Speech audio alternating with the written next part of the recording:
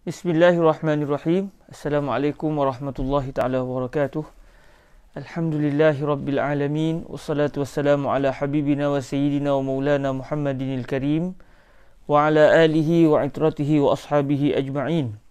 Ashhadu an la ilaha illallah wahdahu la syarika lah wa ashhadu anna sayyidana wa habibana Muhammadan abduhu wa rasuluh wa safiyuhu min khalqihi wa habibuh أدى الأمانة وبلغ الرسالة ونصح الأمة وكشف الله به الغمة اللهم صل وسلم وزد وبارك على سيدنا ومولانا محمد كريم وعلى آله وعترته وأصحابه أجمعين Alhamdulillah kita bersyukur kepada Allah Subhanahu Wa Taala di atas kesempatan di atas uh, kesempatan dan juga uh, taufik daripada Allah Subhanahu Wa Taala dapat kita bertemu pada hari ini.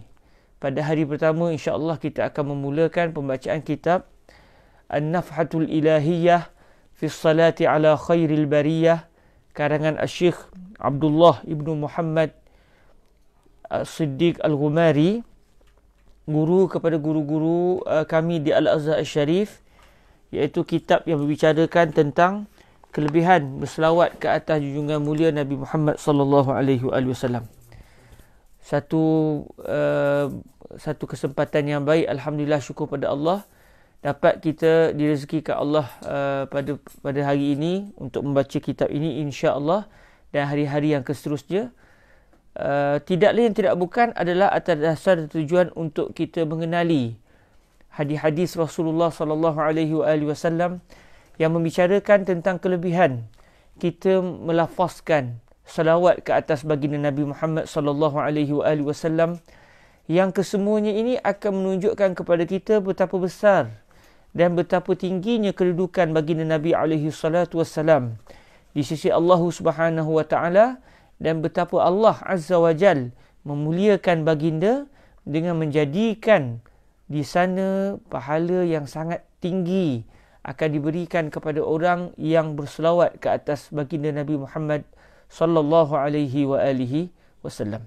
Para hadirin yang dirahmati Allah Subhanahu wa taala, insya-Allah dengan kesempatan yang diberikan oleh Allah Subhanahu wa taala pada hari ini dan juga hari-hari yang seterusnya, kita akan meneliti satu persatu eh, apa yang telah dicoretkan oleh Syekh Abdullah Ibnu Muhammad As-Siddiq Al-Ghumari di dalam kitab beliau An-Nafhatul Ilahiyah fi Salati ala Khairil Bariyah yang menceritakan tentang kelebihan hadis-hadis Rasulullah sallallahu alaihi wasallam yang menceritakan tentang kelebihan kita berselawat ke atas junjungan baginda Nabi Muhammad sallallahu alaihi wa alihi wasallam. Tuan-tuan yang dirahmati Allah Subhanahu taala, sebelum kita masuk kepada kitab ini, uh, pertamanya saya mohon kemaafan sebab saya tak berjaya mendapatkan kitab ini dalam bentuk terjemahan dalam bahasa Melayu eh. Sahabat saya ada menterjemahkan tapi uh, stoknya sudah habis boleh kurang itulah tinggal lagi beberapa buah saja. Jadi ala kuliah kita akan bacakan teks ini dalam bahasa Arab eh kita akan bacakan dalam bahasa Arab. Kemudian saya akan cuba menterjemahkan uh, ke dalam bahasa Melayu. Uh, lalu kita akan uh, menelitinya bersama-sama insya-Allah Subhanahu Taala eh. Insya-Allah Subhanahu Taala. Sebelum kita uh, lanjut kepada kitab ini, elok juga kita berkenalan terlebih dahulu dengan fadilatul syekh uh, Syekh Abdullah Ibnu Muhammad As-Siddiq Al-Ghumari pengarang kitab ini supaya kita dapat uh, mengenali siapakah beliau sebenarnya dan bagaimanakah uh, pandangan ataupun uh, kedudukan beliau di sisi kacamata para ulama uh, hari ini Para hadirin yang dirahmati Allah Subhanahu Wa Taala Syekh Abdul Fadl Abdullah ibnu Muhammad As-Siddiq Al-Ghumari ini adalah merupakan uh, anak kelahiran uh, Tanjah eh? anak kelahiran satu tempat di Maghribi yang bernama Tanjah eh? nama tempat tu nama dia Tanjah dan Syekh Abdullah ini adalah bergalur nasabnya sehingga kepada baginda Nabi alaihi salatu wasallam. Beliau merupakan seorang uh, para ulama yang berketurunan baginda Nabi Muhammad sallallahu alaihi wa alihi wasallam. kalau boleh saya bacakan untuk kita melihat betapa Allah memuliakan eh, orang yang bersama nasab dengan Nabi alaihi salatu wasallam sampai ke hari ini eh mereka tahu siapakah datuk nenek moyang mereka sehinggalah bersambung kepada baginda Nabi alaihi salatu wasallam jadi Syekh Abdullah ibnu Muhammad As-Siddiq Al-Gumari ini beliau adalah Abdullah ibnu Muhammad ibni Muhammad As-Siddiq ibnu Ahmad ibnu Muhammad ibnu Qasim ibnu Muhammad ibnu Muhammad ibnu Abdul Mu'min Al-Humari ibnu Muhammad ibnu Abdul Mu'min ibnu Ali ibnu Hasan, ibnu Muhammad, ibnu Abdullah, ibnu Ahmad, ibnu Abdullah, ibnu Isa, ibnu Sa'id, ibnu Mas'ud, ibnu Al-Fudail, ibnu Ali, ibnu Umar, ibnu Arabi, ibnu Allal, ibnu Musa, ibnu Ahmad, ibnu ibnu Fatimah, binti Rasulullah sallallahu alaihi wa alihi wasallam. Ini adalah salah silah keturunan beliau yang sambung menyambung daripada seorang datuk ke seorang datuk sehingga akhirnya bersambung kepada baginda Nabi Muhammad sallallahu alaihi wa alihi wasallam. Eh. Para hadirin yang dirahmati Allah Subhanahu taala, Uh, beliau iaitu Syekh Abdullah Ibnu Muhammad As-Siddiq Al-Gumari lahir di uh, Madinah Tonjah lahir di bandar Tonjah pada akhir uh, pada hari terakhir bulan Juma, bulan Jumadal akhir tahun 1328 Hijriah eh.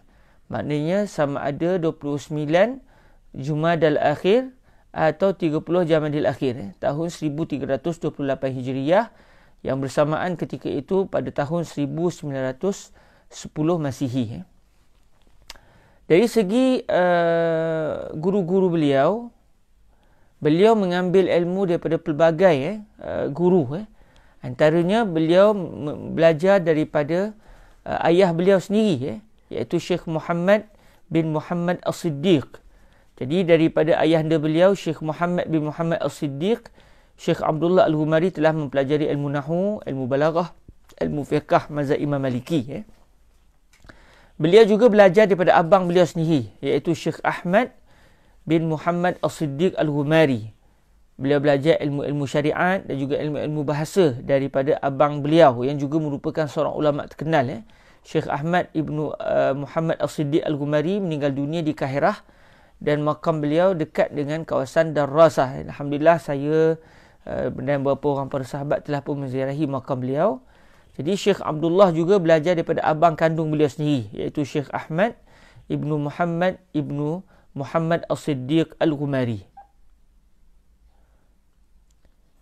Kemudian uh, sewaktu beliau melanjutkan pelajaran ke Al-Azhar Al-Sharif, Syekh Abdullah Al-Ghumari telah mempelajari ilmu daripada para ulama-ulama besar di Mesir ketika itu, iaitu antaranya Syekh Muhammad Hasanin Makhluf dan juga Syekh Muhammad Bakhit Al-Muti'i eh. Syekh Muhammad Hasanin Makhluf dan juga Syekh Muhammad Bakhit Al-Muti'i Syekh Muhammad Bakhit Al-Muti'i ini adalah merupakan uh, mufti Mesir ketika itu eh. Syekh Muhammad Bakhit Al-Muti'i Kemudian kalau kita tengok tuan-tuan perempuan yang dirahmati Allah Subhanahu Taala uh, beliau ini antara kelebihan yang para ulama telah tulis tentang kehidupan Syekh Abdullah Al-Gumari ini, beliau merupakan seorang yang menguasai cabang-cabang ilmu Islam yang pelbagai. Eh. Beliau menguasai ilmu-ilmu syariat, beliau menguasai ilmu-ilmu bahasa, bahasa Arab, beliau juga menguasai ilmu mantik dengan kuat dan dalam masa sama beliau juga mempunyai kemampuan eh, hafalan yang kuat. Eh. Beliau mempunyai kemampuan hafalan yang kuat bila beliau menceritakan tentang hukum hakam fiqah, beliau boleh sebut siapa yang sebut apa dalil-dalil mereka dan apa pula apa namanya uh, apa namanya hujah-hujah para ulama tersebut eh sama ada dalam bidang uh, bidang akidah ataupun dalam bidang uh, fiqh maknanya beliau ingat eh nama-nama para ulama dan juga dalil-dalil serta pandangan mereka. Selain daripada itu, Syekh Abdullah Ibnu Muhammad Al-Siddiq Al-Humari juga menghafaz uh, banyak hadis Rasulullah sallallahu alaihi wasallam eh sehingga disebut beliau menghafaz hadis-hadis Rasulullah sallallahu alaihi wasallam lebih daripada 10,000 hadis.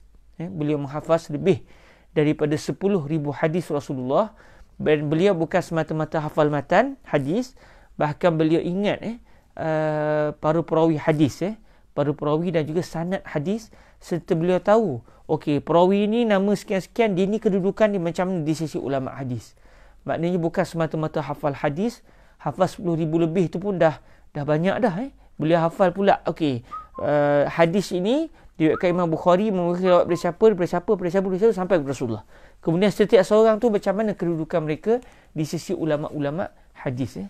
Oleh kerana beliau ini uh, seorang yang menguasai bidang hadis dengan begitu dahsyat dan begitu kuat para ulama uh, hari ini menjadikan beliau termasuk di kalangan hufazul ahadis eh. Minal hufaz maknanya di antara pakar hadis eh. Ha, pada zaman itu eh. Maknanya itu itulah status seorang yang pakar hadis eh. Bukan semata-mata dia tahu tentang selok belok ilmu hadis tapi dia juga menghafaz dia panggil sebagai hafiz ini menghafaz lebih daripada 10,000 hadis Rasulullah sallallahu alaihi wasallam eh. Syekh Abdullah ibnu Muhammad As-Siddiq Al-Umari telah uh, meninggalkan uh, ratusan eh, tulisan tangan eh, ratusan uh, buku-buku yang menceritakan pelbagai selok-belok agama eh. Subhanallah. Antara karangan-karangan beliau antaranya kitab yang berbunyi yang berjudul I'lamun Nabil bi Jawazit Taqbil. Buku ni cerita tentang sebenarnya tak ada masalah eh kita cium tangan guru-guru kita eh. sebab ketika itu timbul isu cium tangan guru ni macam sujud kat guru sebab kita akan tunduk macam kita sujud pada guru jadi ada orang kata tak boleh cium tangan eh. Hari ni kita tak timbul isu ni tapi pada zaman beliau timbul isu boleh tidak cium tangan guru-guru kita ni ataupun cium tangan ayah lalu beliau telah menghasilkan satu buku yang berbunyi I'lamun Nabil bi Jawazit Taqbil yang dalam buku ini beliau menceritakan hukum eh mencium eh mencium tangan kalau tak silap saya lah, buku ni menceritakan tentang itu. Eh. Kemudian beliau juga menghasilkan kitab yang berbunyi Ithaful Azkiya Bijawazi Tawassul Bil Anbiya wal Awliya. Buku ini bicara tentang sebenarnya kalau kita bertawassul dengan dengan Nabi, dengan para Rasul, bertawassul dengan para wali sebenarnya tidak menjadi masalah. Eh. Tidak menjadi masalah dari sudut syarak. Eh. Ha, ini ulama hadis ni. Ulama yang pakar dalam bidang hadis, beliau menyatakan sebenarnya tidak masalah kalau contoh kita pergi ke makam Rasulullah, makam orang-orang soleh, eh, kita berdoa, Ya Allah, aku bertawassul dengan Nabi Muhammad. Aku bertawassul dengan wali Allah sekian-sekian-sekian. Agar Ya Allah dikau berikan aku begian-begian-begian. Mari kita sebut Ya Allah dengan berkat fulan bin fulan. Saya mengharapkan agar dikau Ya Allah berikan saya sekian-sekian-sekian. Ia tidak syirik sebenarnya. Bahkan dibenarkan oleh syarak. Jadi dalam buku Ithaful Azkiyah bijawazi tawassul bil anbiya wal awliya Syekh Abdullah ibnu Muhammad ibni Muhammad As-Siddiq Al-Ghumari telah uh, menghasilkan karya dalam menyatakan sebenarnya perkara itu tidak tidak ada salahnya. Kemudian beliau juga ada kitab yang berjudul Nihayatut Tahrir fi Hadisi Tawassul Ad-Darir. Buku ini cerita tentang sebenarnya ada orang buta pernah bertawassul dengan baginda Nabi alaihi wasallam. Ha, dalam buku ini beliau menyatakan sebenarnya tak ada masalah kita bertawasul dengan Rasulullah. Eh. Sebab kadang-kadang ada orang kata tawasul ni syirik. Seakan-akan kita tak minta terus dengan Allah. Jadi ada hadis cerita seorang buta yang dia telah bertawasul dengan Nabi Muhammad sallallahu alaihi wasallam lalu Allah Taala telah mengembalikan penglihatannya. Kemudian beliau juga menghasilkan buku yang berbunyi I'lamur Raki'is Sajid bima'na ittikhadhil quburi masajid.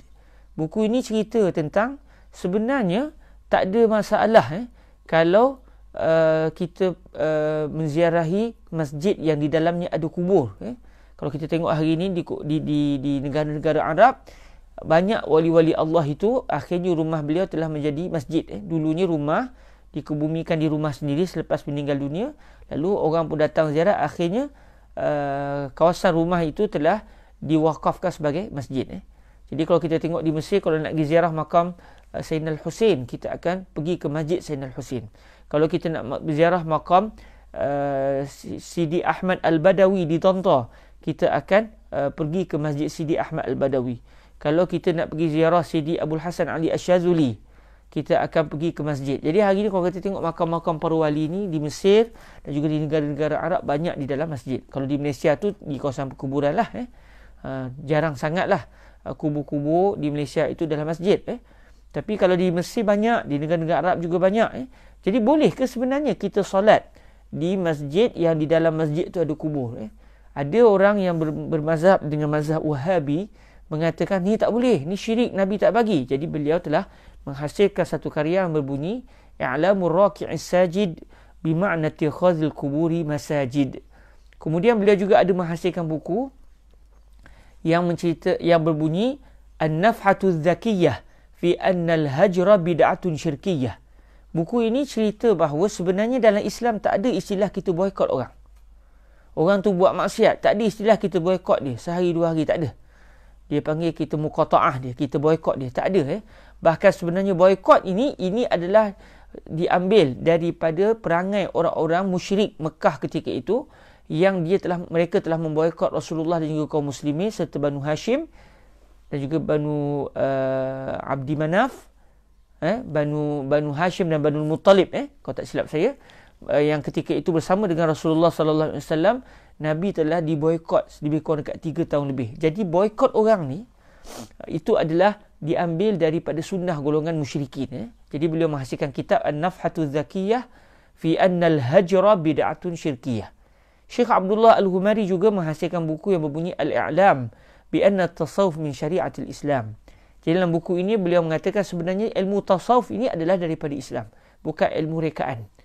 Tasawuf ni bukan benda asing daripada Islam. Bahkan tasawuf sebenarnya memang daripada daripada syariat Islam itu sendiri. Eh. Kemudian beliau juga ada menghasilkan kitab yang berbunyi Itqanus Sun'ah fi tahqiqi ma'nal bid'ah. Buku ini beliau cerita bid'ah ni sebenarnya apa? Yang sikit-sikit asal Nabi tak buat semuanya haram, semuanya bid'ah. Uh, buat itu bid'ah, buat ni bid'ah sebab Nabi tak buat. Jadi beliau buat satu buku, menghasilkan satu buku cerita. Sebenarnya bid'ah dalam Islam ni apa dia? Bukan semua benda Nabi tak buat jadi bid'ah. Jadi bid'ah ni apa dia? Jadi beliau hasilkan buku yang berbunyi Itqanus Sun'ah fi tahqiqi ma'nal bid'ah. Beliau juga ada menghasilkan satu buku yang berbunyi Husnul Tafahumi wa Dark li Mas'alati Tark. Dalam buku Husnul Tafahumi wa Darki li Mas'alati Tark, beliau cerita khusus sebenarnya kalau ada orang dakwa yang ni haram sebab Nabi tak buat. Ha, sebab Nabi tak buat. Nabi tak pernah buat benda ni. Kalau ada orang berhujah yang ni Nabi tak buat jadi jadi hukumnya haram, sebenarnya kata beliau ini adalah satu kefahaman yang salah. Lalu beliau menghasilkan buku yang berbunyi Husnul Tafahumi Wadarki li Mas'alati Tark. Dalam buku ini beliau cerita, sebenarnya kalau Nabi tak buat satu benda, tak semestinya benda itu jadi haram. Ya. Beliau juga mempunyai satu buku yang berbunyi Zawkul Halawah Bibayani Imtina'i Naskhit Tilawah. Ya. Bagi beliau, sebenarnya tak ada dalam Islam kita ni, tidak ada istilah Naskhut Tilawah. Mai ada ayat Al-Quran yang dulu Allah Ta'ala pernah turunkan. Kemudian akhirnya ayat itu hukumnya masih kekal tapi ayatnya tak ada dah. Bunyi ayat tak ada dalam Al-Quran.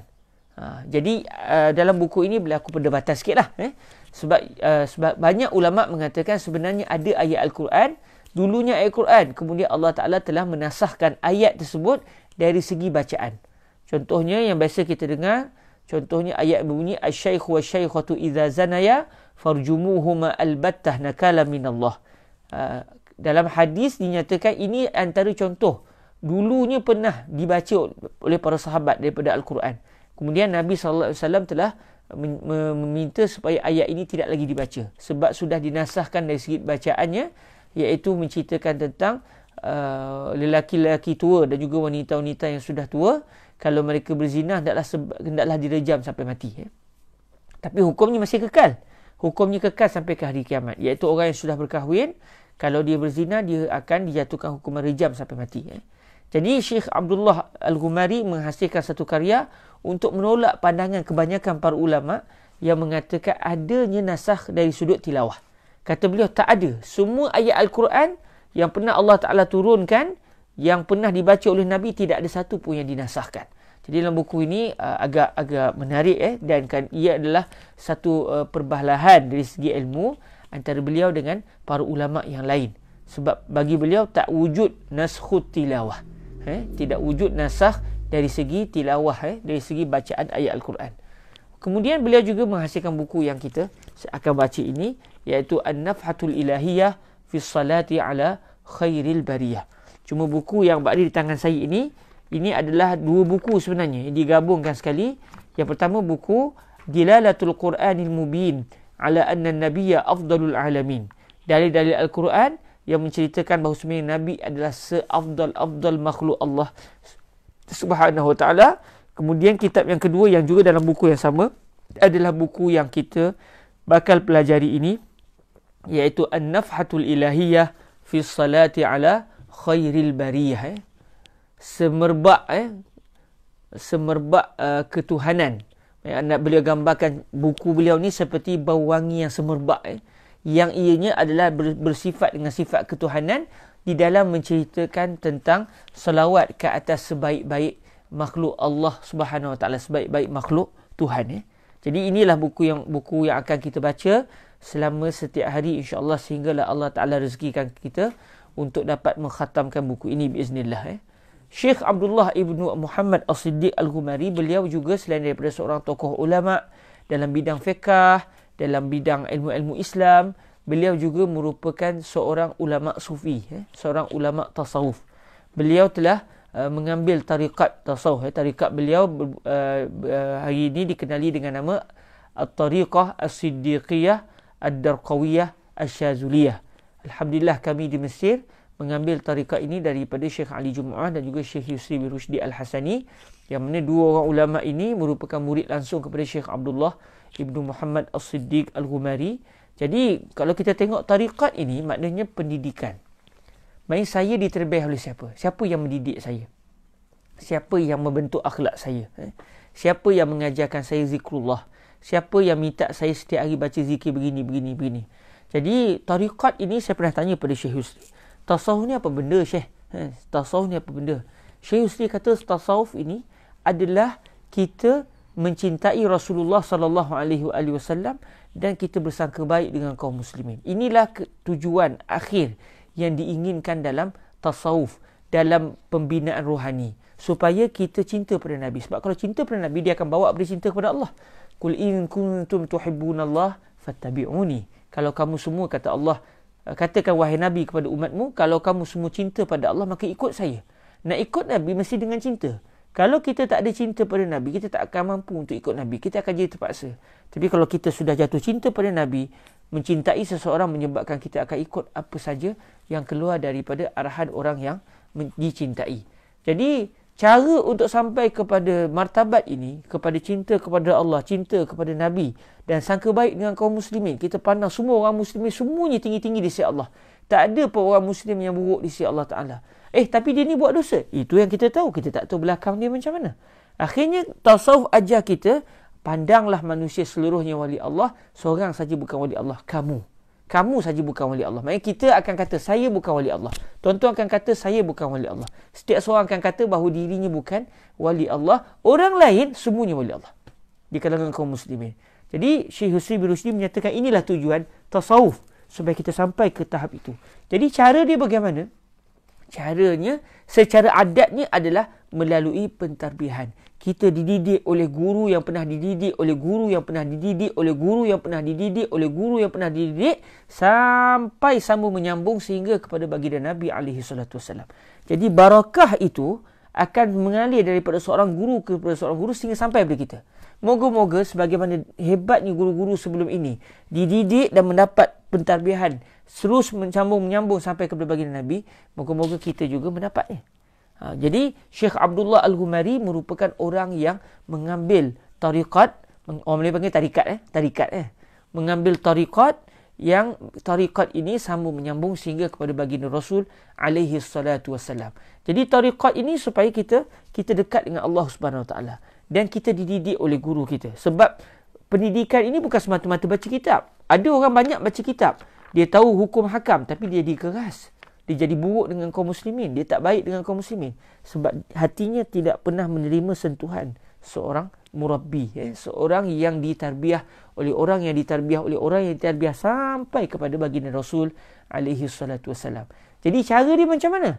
Dengan bersuhbah dengan kita rapat dengan guru. Kita akan tengok perwatakan guru sebab kadang-kadang bila kita baca kitab lain. Tapi bila kita berhadapan dengan guru kita akan nampak subhanallah ini akhlak dan akhlak ini sebenarnya cerminan kepada akhlaknya baginda Rasul alaihi salatu wasalam. Dalam masa yang sama dalam tarekat tawasul diminta kita banyak berzikir. Kita diminta setiap hari kena berzikir ni kena amalkan zikir ni. Sebab bila kita ingat kita ingat kepada Allah dia akan bawa kita kepada kepada keridaan Allah Subhanahu wa taala. Dan tarikat banyak minta bawat sallallahu alaihi wasallam. Jadi ada orang dia tak pernah ambil tarikat. Dia tak pernah dididik oleh mana-mana guru. Tetapi dia subhanallah keluar daripada kebiasaan. Allah taala yang memberikan didikan kepada dia secara khusus. Menyebabkan dia jadi orang baik. Dia baik.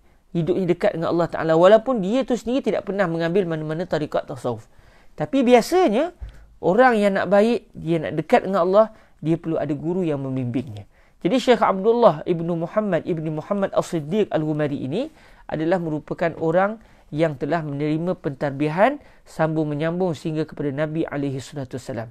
Dan saya nak bacakan tuan-tuan, ya, kita nak tengok subhanallah. Betapanya perkara ini dijaga oleh para ulama zaman berzaman.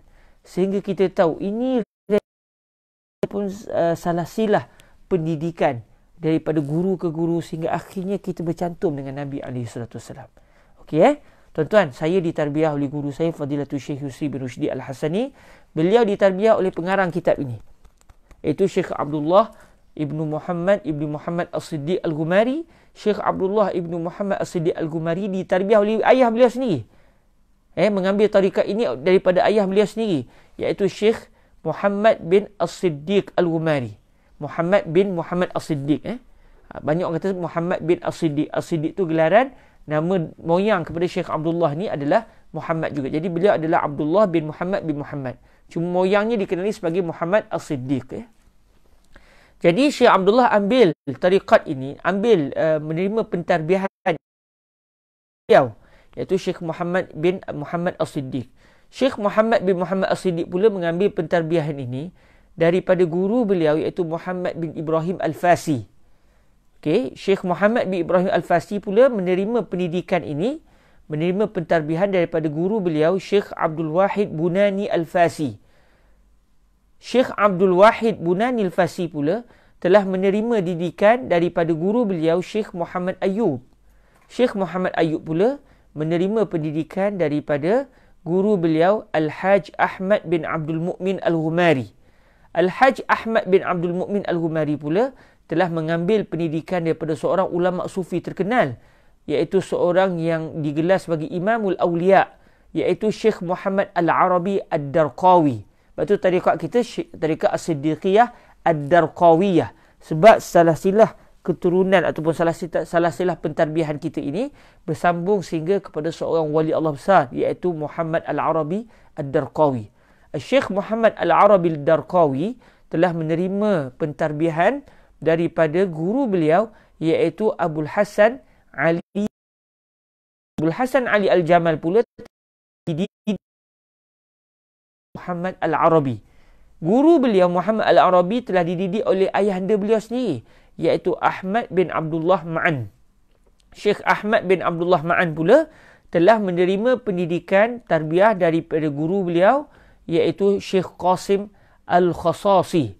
Syekh Qasim Al-Khasasi pula telah menerima pendidikan, telah menerima tarbiyah daripada guru beliau Syekh Muhammad Fath bin Abdullah Syekh Muhammad Fath bin Abdullah telah menerima pendidikan daripada guru beliau Abdul Rahman Al-Fasi. Syekh Abdul Rahman Al-Fasi pula telah dididik dari segi kerohaniannya oleh saudara beliau sendiri, abang beliau sendiri, iaitu Syekh Yusuf Al-Fasi. Syekh Yusuf Al-Fasi pula telah dididik dari sudut kerohaniannya dari oleh guru beliau Syekh Abdul Rahman Al-Majzub. Rahman Al-Majzub Syekh Ali Ad-Dawar. Syekh Ali Ad-Dawar telah dididik oleh guru beliau yang bernama Ibrahim Afham Az-Zarhuni. Syekh Ibrahim Afham Az-Zarhuni telah dididik dari segi kesufiannya oleh guru beliau Syekh Ahmad Zarruq. Eh, Syekh Ahmad Zarruq terkenal beliau ada satu kitab nama Al-Qawaid At-Tasawufiyah, eh, kaedah-kaedah tasawuf. Eh. Syekh Ahmad Zarruq telah dididik dari segi kerohanian, kesufian oleh guru beliau telah dididik oleh guru beliau yang bernama Ahmad bin Uqbah Al-Hadrami. Syekh Ahmad bin Uqbah Al-Hadrami pula guru beliau Yahya bin Ahmad bin Muhammad Wafa Al-Qadiri. Yahya bin Ahmad bin Muhammad Wafa Al-Qadiri pula telah dididik oleh guru beliau yang bernama Ali bin Muhammad Wafa. Muhammad Wafa telah dididik oleh ayahanda beliau sendiri iaitu Syekh Bahrus Safa. Syekh Muhammad Bahrus Safa oleh guru beliau yang Sayyidi Dawud Al-Bakhili. Jadi Syekh Dawud Al-Bakhili telah ditarbiah oleh oleh guru beliau yang sangat terkenal dalam dunia tasawuf iaitu Sidi Ahmad Ibnu Athaillah Sakandari iaitu uh, yang telah dikebumikan yang telah wafat di Kahirah dan dikebumikan di Muqattam. Maknanya pengarang Hikam Ibnu Athaillah ni adalah antara salah silah guru kita semua. Syekh Ahmad Sakandari guru di Iskandariah iaitu Abu Abbas Syekh Ali Ibnu Umar Al-Mursi. Orang panggil Abu Abbas Al-Mursi. Eh. Abu Abbas Ahmad Ibnu Umar Al-Mursi telah dididik, dididik secara kesufiannya oleh guru beliau yang merupakan salah seorang tonggak kepada empat tarikat terbesar di dunia iaitu Sidi Abdul Hasan Ali Ash-Shazuli. Uh, Imam Ash-Shazuli yang dikebumikan di, di, di Mesir di kawasan yang bernama Humaisarah. Humaisarah. Eh. Di Humaisarah tu biasa orang sebut fi Humaisarah saufa tara bis salati ala khairil wara. Eh. Di Humaisarah kamu akan melihat tentang bagaimana atas Nabi sallallahu alaihi wasallam. Orang akan ziarah Sidi Abu Syazuli, orang akan berselawat kepada Nabi, orang akan di direzekikan Allah kecintaan kepada baginda Rasul dengan begitu dahsyat dan hebat eh. Saya boleh berziarah tu terasa Allahu Akbar eh. Sidi Abu Hasan Ali Asyazuli eh. Sidi Abu Hasan Ali nak, nak katanya sewaktu beliau uh, perjalanan akhir beliau eh, sebelum beliau meninggal dunia dalam beliau nak menuju ke Makkah eh, untuk menunaikan ibadah ibadah haji eh, kata silap saya jadi beliau minta kali itu anak murid pakat bawa cangkul pakat bawa benda jadi anak murid kata Syekh kita nak pergi kita nak pergi bermusafir kita nak pergi ke Makkah Al-Mukarramah nak pergi ke Al-Madinah Al-Munawwarah bukan nak nak tanam orang nak apa-apa. Syekh kata fi humaisarah saufa tara. Di humaisarah kamu akan tengok.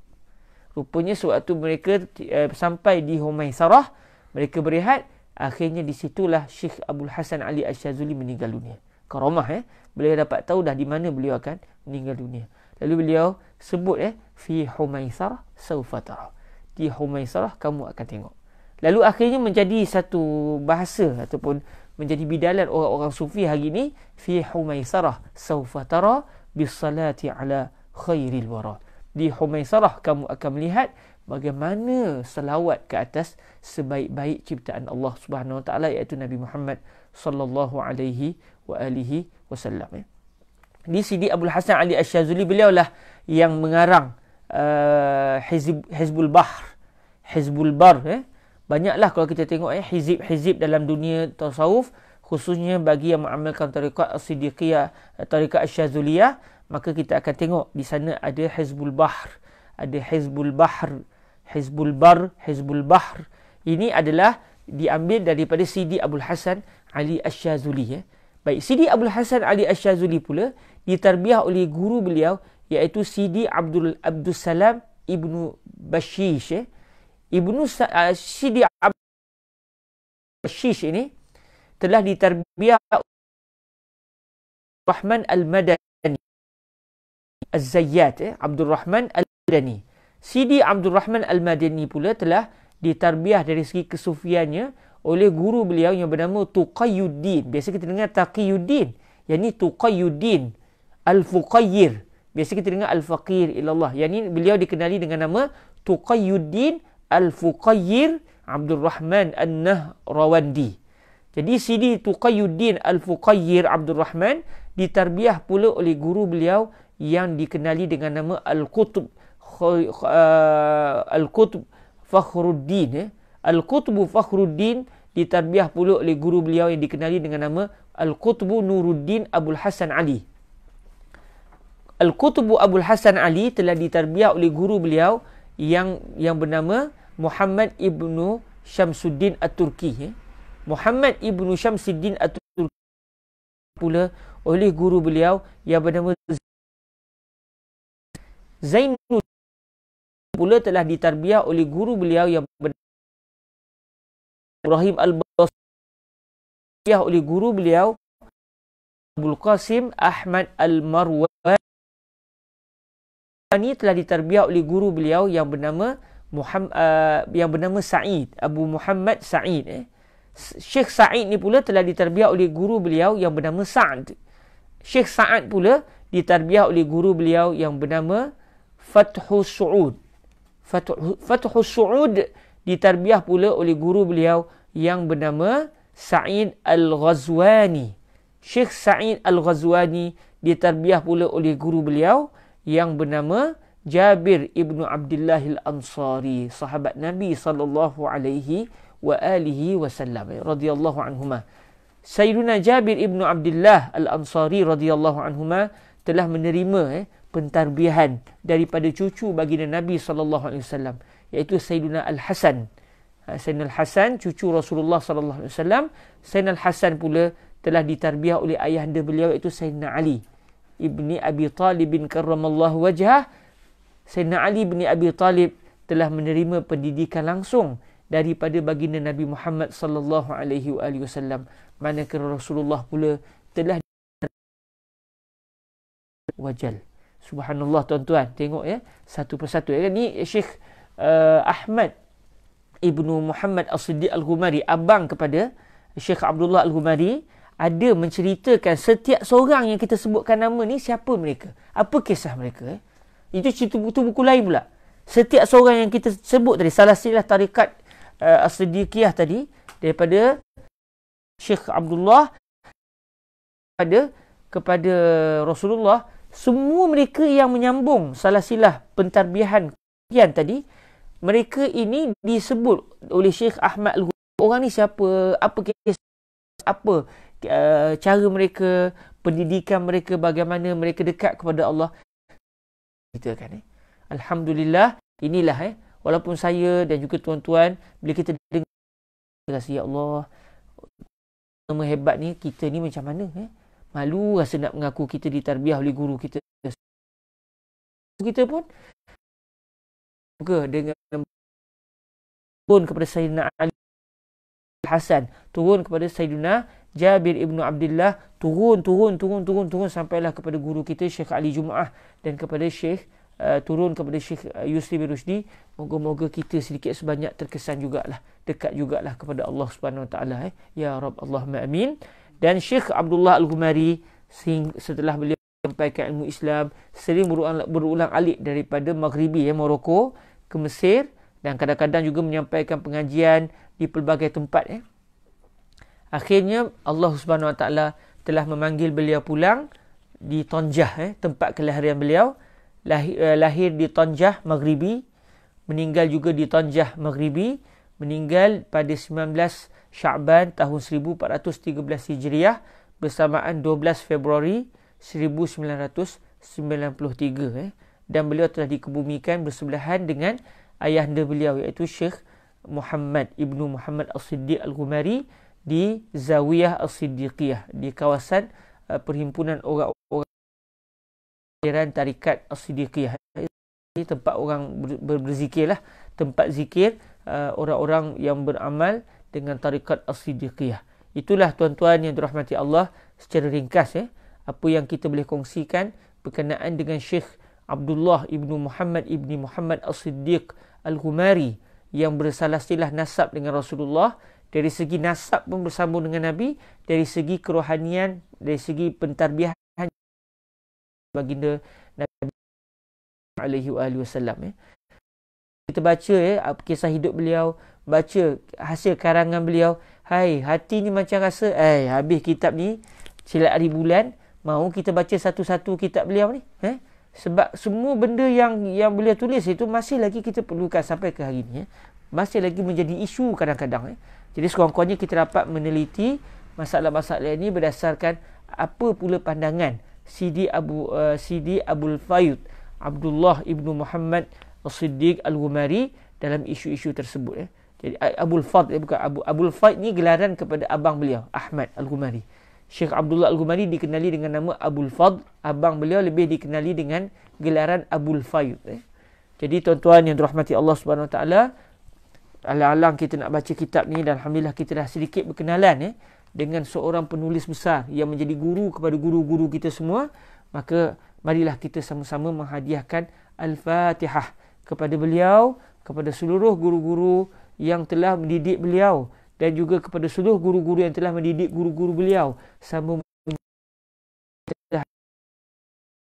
kemuliaan ini tidak lain tidak bukan kepada baginda Nabi sallallahu alaihi wasallam kepada Rasulullah kepada para sahabat tabi' tabi'in dan seluruh para ulama Islam. Tidak berkecuali termasuk guru-guru kita semua kita hadiahkan al-Fatihah.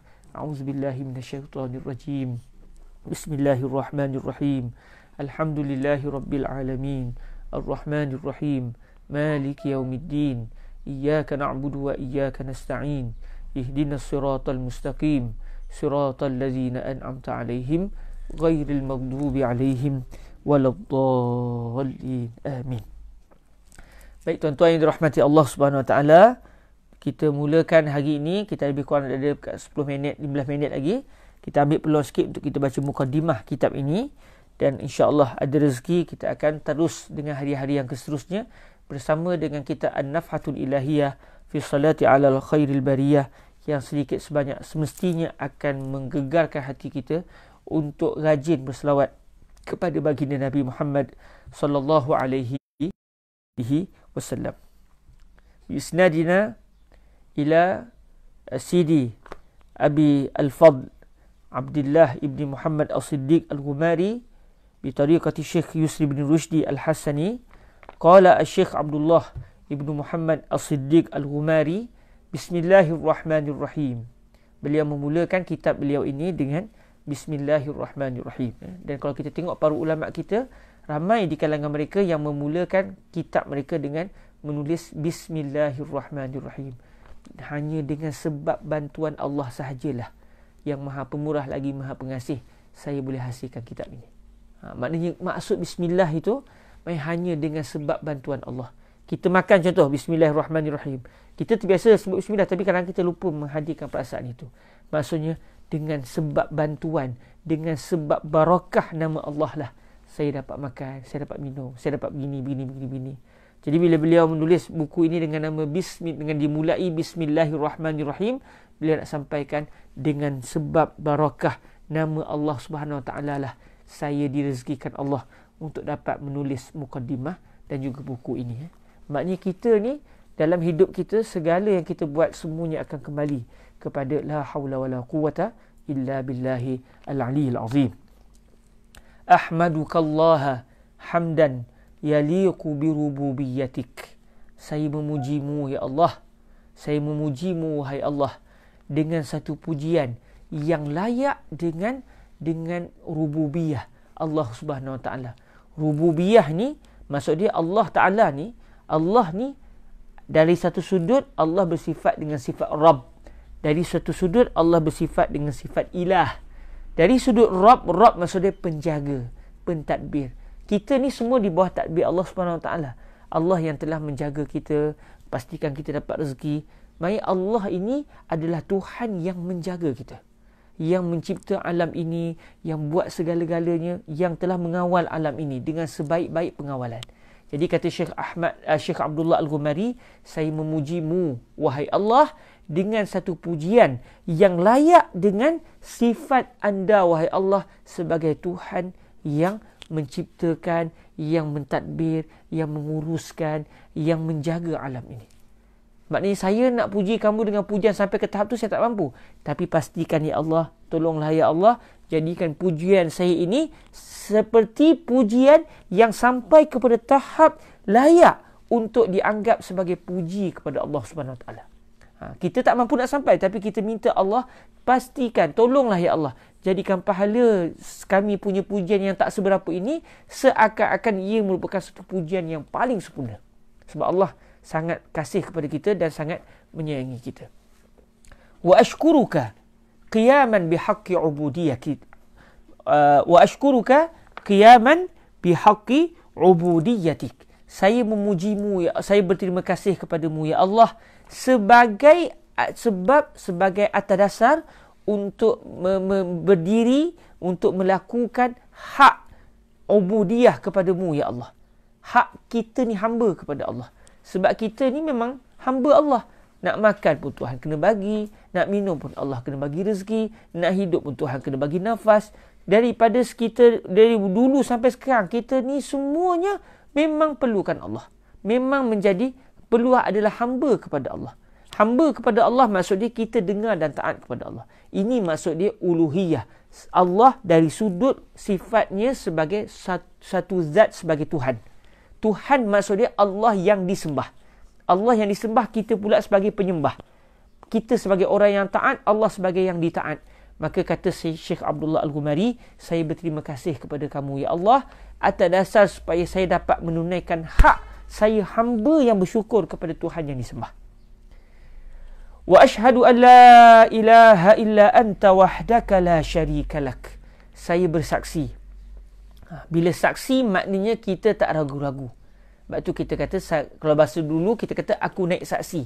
Maknanya saya ni bukan sekadar tahu tapi saya memang laik saya sampai boleh jadi saksi. Saya ada bukti, saya ada petunjuk yang menunjukkan sebenarnya tidak ada Tuhan melainkan Allah. Saya bersaksi sesungguhnya tidak ada Tuhan melainkan hanya Engkau satu-satunya. Tidak ada sebarang sekutu bagi anda ya Allah wa ashhadu an la ilaha illa ant wahdaka la syarika lak.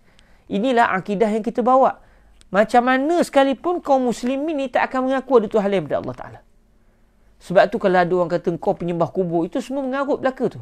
Sebab macam mana kita nak sembah kubur wali sedangkan setiap hari kita sebut Rasulullah itu utusan Allah, Nabi kepada Allah. Tak pernah pun kita anggap Nabi Muhammad sebagai Tuhan. Takkan kita nak anggap wali Allah yang kedudukannya tidak akan sampai kepada kedudukan seorang Nabi. Kita nak anggap wali ini jadi jadi jadi Allah pula. Tak akan tuan-tuan. Ini adalah semata-mata uh, sangkaan-sangkaan yang meleset daripada daripada realiti. Kita bersaksi sampai kita mati insya-Allah matikan kami ya Allah dengan akidah ini sebenarnya tidak ada Tuhan melainkan hanya satu. Siapa dia? Allah. Tuhan yang satu-satunya. Tidak ada satu benda pun yang mampu menjadi seperti Allah. Tidak ada syirik bagi Allah. Tidak ada sekutu bagi Allah. Dialah Allah satu-satunya. Dialah yang memberikan rezeki. Dialah yang memberikan segala-galanya. Tak ada satu zat pun yang seperti Allah subhanahu wa ta'ala. Taf'alu ma tasha' Dialah Allah. Kamulah Allah yang melakukan apa yang kamu inginkan. Tak ada siapa yang boleh paksa Allah. Ini akidah kita. Allah ni adalah Tuhan, adalah adalah uh, maharaja segala maharaja. Raja tak akan dapat dipaksa. Itu raja dunia. Bagaimana Allah sebagai Maliki Yaumiddin, raja pada hari pembalasan kelak, Malikul Mulk, raja bagi segala uh, bagi segala raja-raja. Mai Allah Taala, kamu ya Allah. Allah terlupa pula eh. Tadi macam nak ingat eh. Ha. Hmm. Allahumma salli ala sayyidina Rasulillah. Uh. Allahumma salli ala sayyidina tak, dia tak bagi ya, tak bagi. Allahumma salli ala sayyidina Rasulillah alaihi salatu wassalam. Itulah hakikat kita lemah eh. Walaupun dah hafal, bagi kalau Allah tak nak bagi tak apa. Maknanya ilmu ni kata Syekh Syed, Syekh Saltut rezeki eh. Ada benda hari tu kita dapat. Ada benda hari lain tu akan bagi kepada kita eh.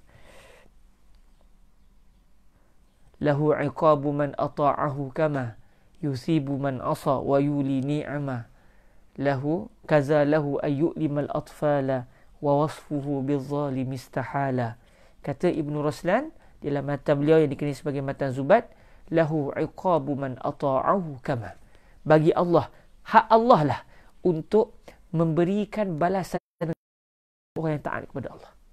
Maknanya kalau Allah nak jadikan seorang yang taat kepada Allah, Allah kata kau bagus taat kepada aku.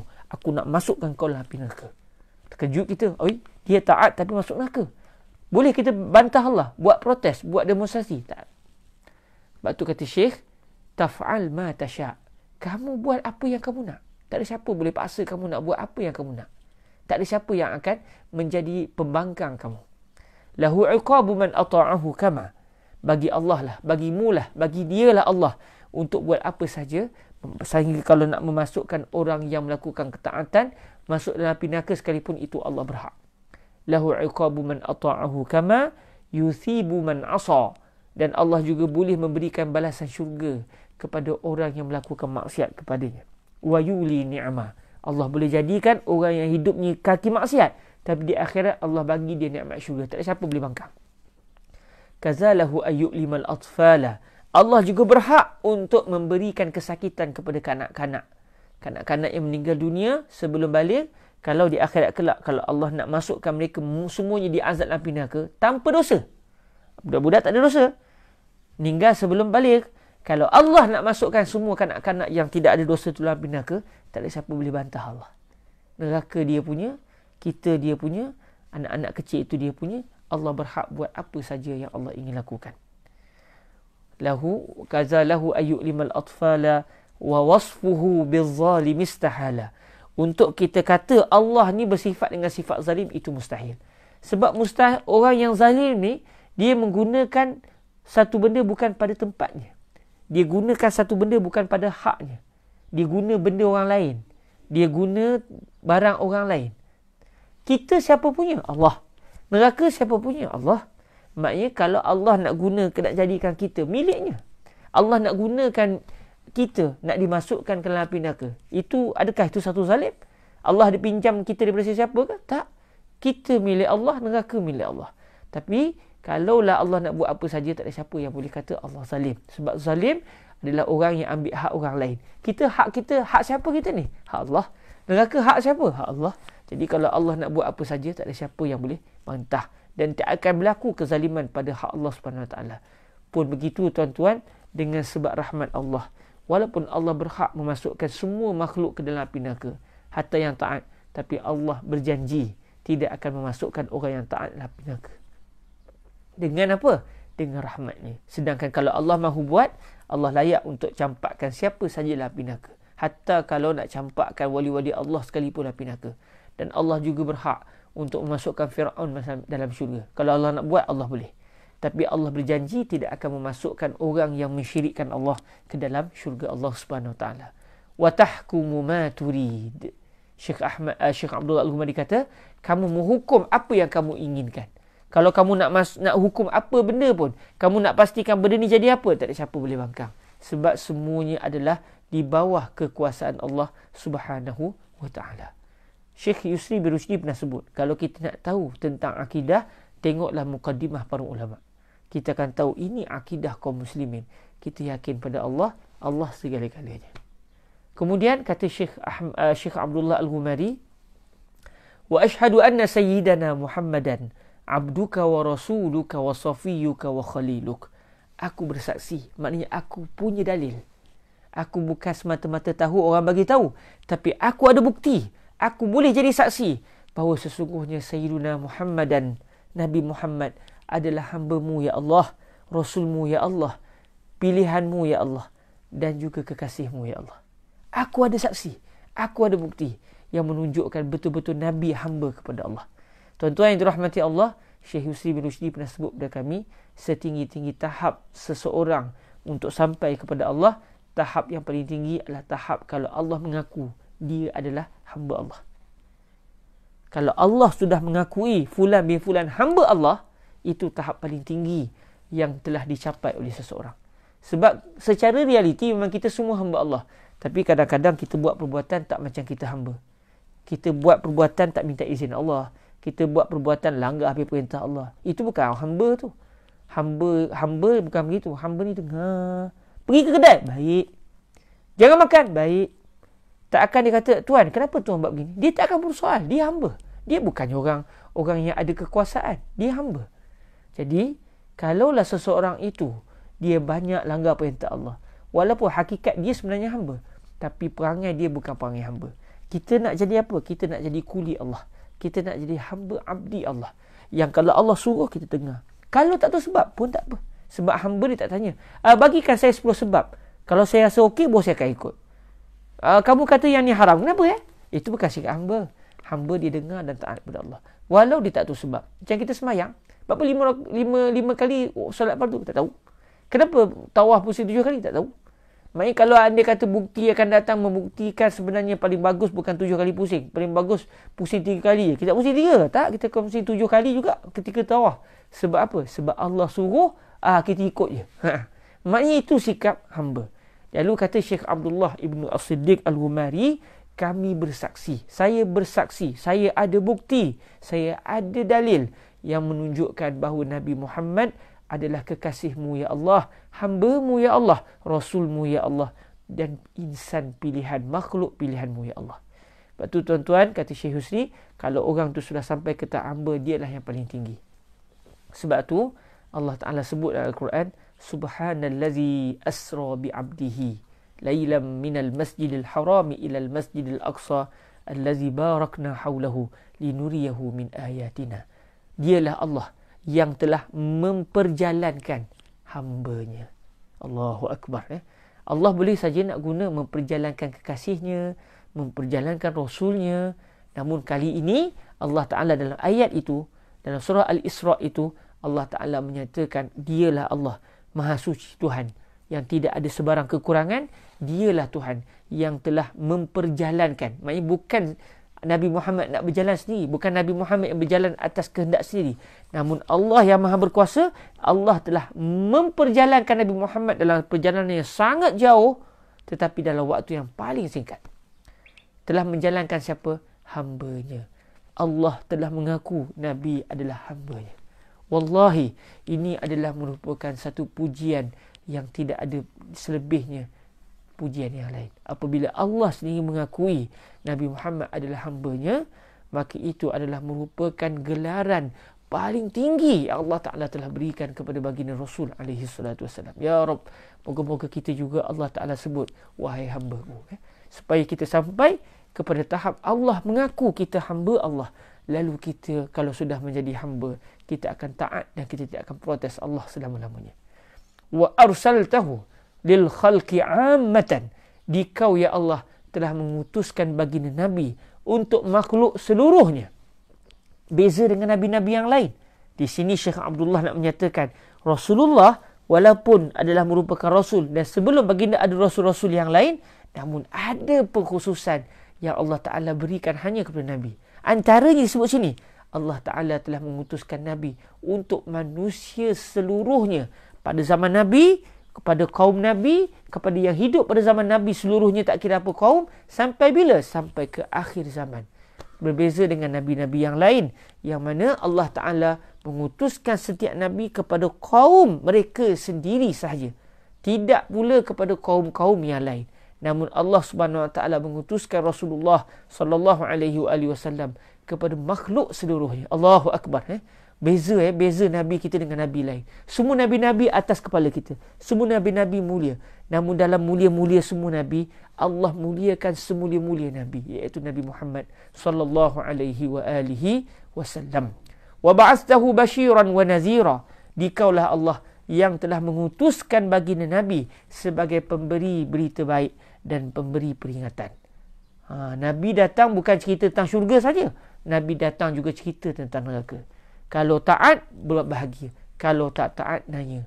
Jadi Nabi diutuskan Allah sebagai pemberi berita gembira kepada orang yang taat dan memberikan ancaman kepada orang yang tidak mahu taat kepada Allah Subhanahu wa taala. Lalu kata Syekh Abdul, Syekh Abdullah Al-Ghumari, "Man ittaba'ahu wa ata'ahu fa huwa al-faizus sa'id." Barang siapa yang mengikut Nabi, Ya Rabb, moga-moga kita di antara pengikut Nabi alaihi salatu wasalam. Siapa yang ikut Nabi, siapa yang taat Nabi, maka sebenarnya dia adalah orang yang telah faiz yang telah berjaya dan orang yang telah bahagia memang ikut nabi kita akan ke syurga kalau kita mati bawa cinta ini kita akan ke syurga Allah Subhanahu Wa Taala al mar'u ma'a man ahab setiap seseorang akan bersama dengan orang yang dia sayangi eh? Fasallillahumma alaih. Ya Allah ya Allah sampaikanlah salawat. Berselawatlah ya Allah ke atas baginda Nabi dengan satu selawat dan satu salam. Yang kedua salam dan selawat itu daimaini bidawami tawali ifdalika alaih.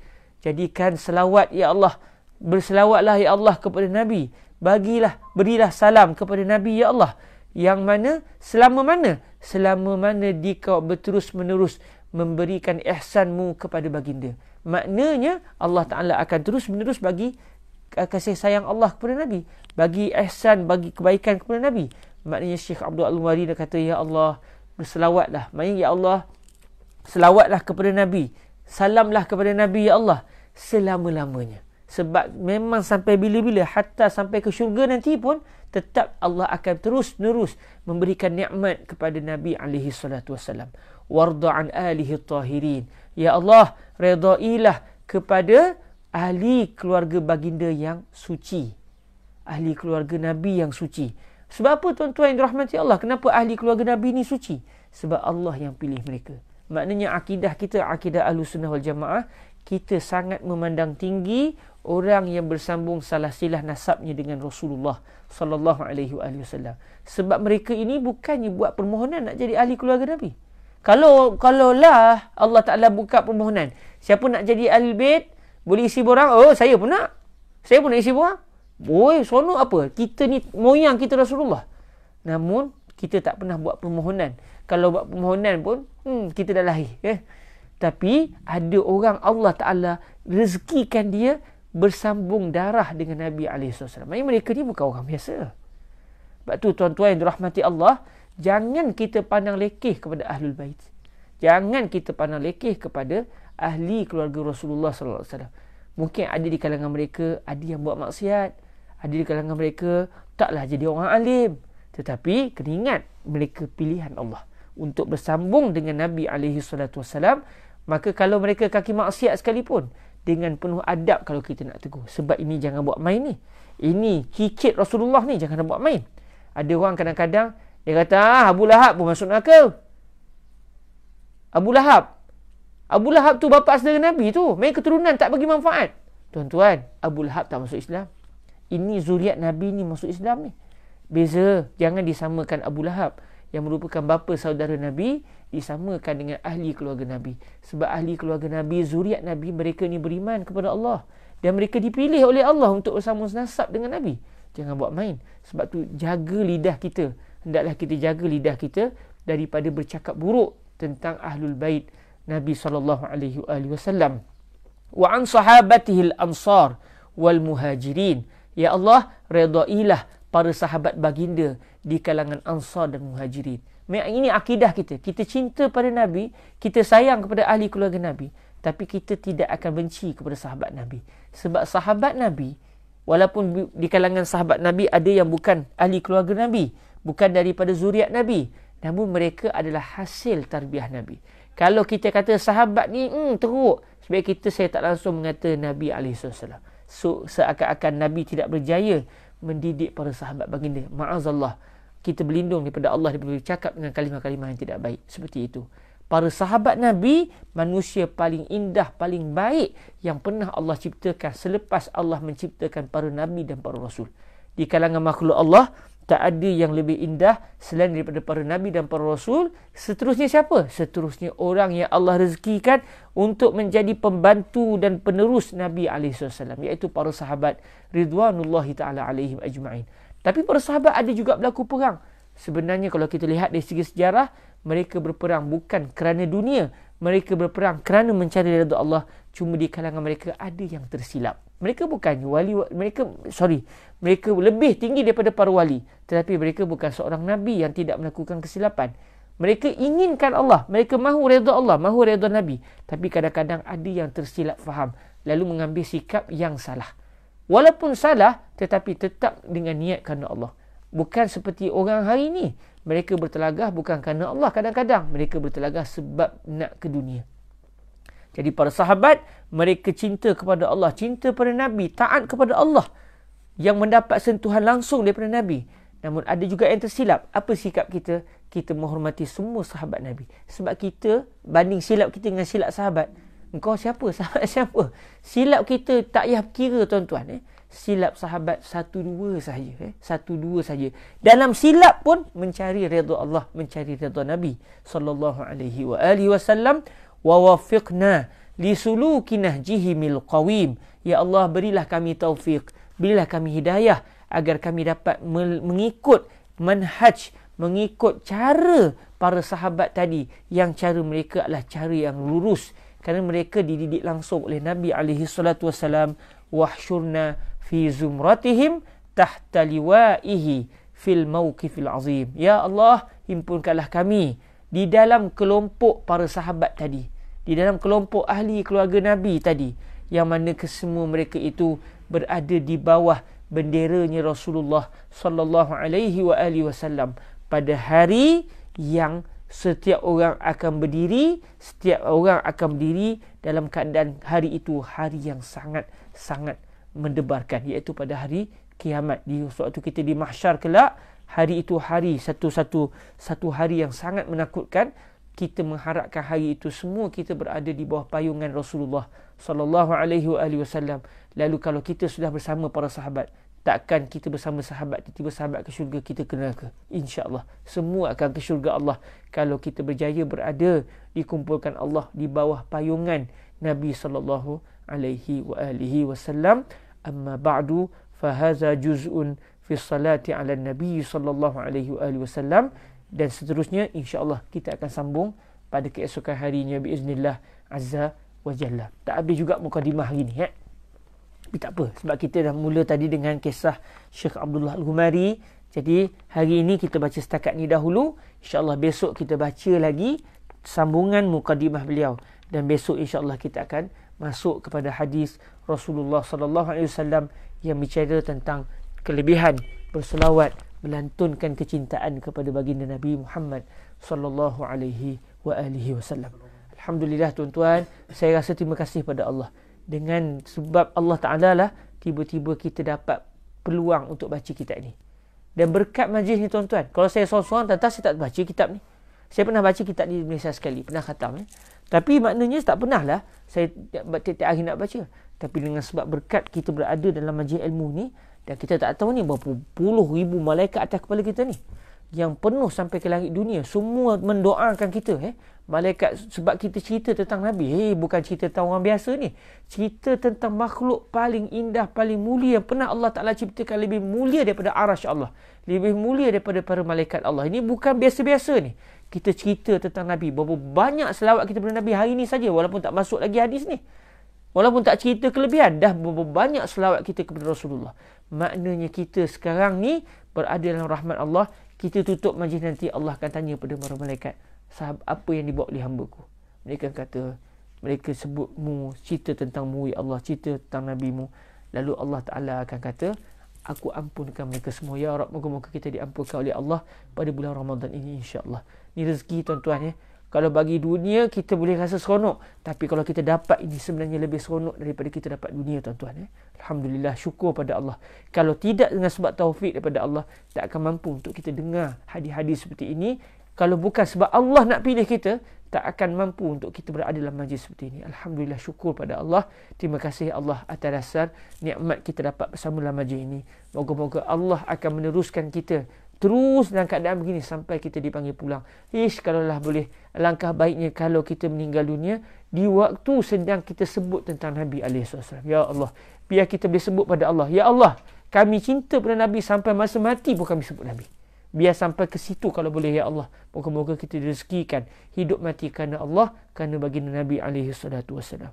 Tuan-tuan, puan-puan yang dirahmati Allah, saya ucap terima kasih kepada semua di atas kesungguhan kita mendengar majlis ini dan kalau uh, ada peluang kita akan baca terus. Saya tak pasti ada soalan ke sebab kita pun tak tak betul-betul baca lagi. Ada soalan? Uh, saya tak ada soalan eh. Uh, pada hari ini alhamdulillah syukur pada Allah. Ada rezeki kita akan terus melayari bahtera cinta tidak akan bertepi ini kepada baginda Rasul alaihi salatu wassalam. Kita tangguhkan majlis kita dengan kita berselawat ke atas baginda Rasulullah sallallahu alaihi wa alihi wasallam. اللهم صل أفضل صلاة على أسعد مخلوقاتك سيدنا محمد وعلى آله وصحبه وسلم عدد معلوماتك ومداد كلماتك كلما ذكرك الذاكرون وغفل عن ذكره الغافلون اللهم صل أفضل صلاة على أسعد مخلوقاتك سيدنا محمد وعلى آله وصحبه وسلم عدد معلوماتك ومداد كلماتك كلما ذكرك الذاكرون وغفل عن ذكره الغافلون اللهم صل أفضل صلاة على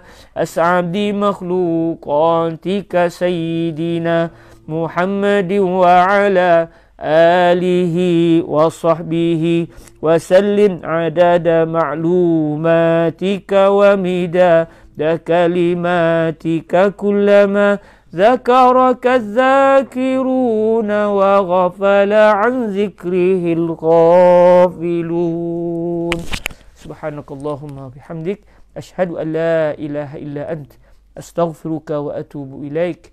بسم الله الرحمن الرحيم. والعصر إن الإنسان لفي خسر إلا الذين آمنوا وعملوا الصالحات وتواصوا بالحق وتواصوا بالصبر السلام عليكم ورحمة الله وبركاته.